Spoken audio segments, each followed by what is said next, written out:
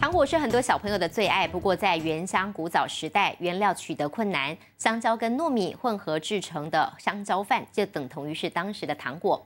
为了不让这个饮食传统流失，农粮署东区分署跟花莲县同门国小合作推动了十米学园计划，带领孩子们认识传统美食。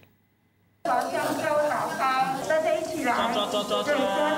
推广米食文化，农粮署东区分署和花莲秀林乡同门国小合作推动十米学员计划，邀请泰鲁格长者到校亲自指导如何制作香蕉饭。老人家没有糖果，就是把那个香蕉饭。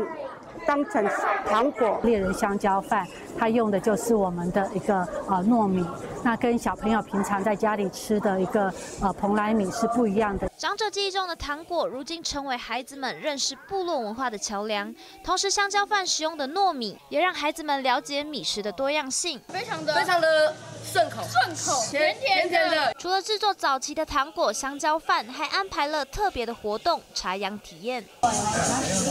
教室后方的小型农田，有人穿着雨鞋，也有人打赤脚，弯着腰将秧苗插入泥中。